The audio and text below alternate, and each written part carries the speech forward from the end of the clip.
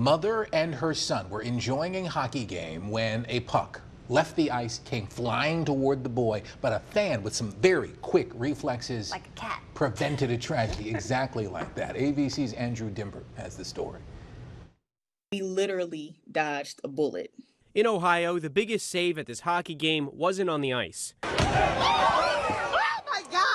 It was in the stands. Asia Davis and her four year old son Nasir were enjoying a Cleveland Monsters game when the puck came flying into the stands. When I realized it was actually coming, it was already there. A man sitting next to Nasir reacted with lightning fast reflexes, deflecting the puck and likely saving the little guy from a serious head injury.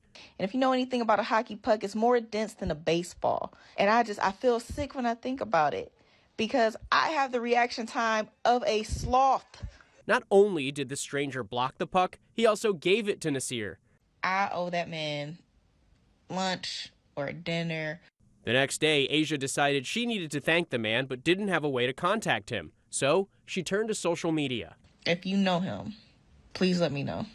Her post got more than 10,000 views in one day and caught the attention of the monsters who tracked down the hero. I had a DM from him and it just said, Everything happens for a reason. I'm glad little man is okay. His name, Andrew Podolak. I was just coming out, try to enjoy a hockey game, and the next thing you know, everything's blowing up on social media. The Monsters invited all three to a game. Nasir even got to drop the ceremonial puck before opening faceoff. Nasir, drop that puck!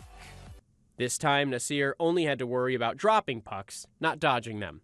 Andrew Dymburt, ABC News, New York.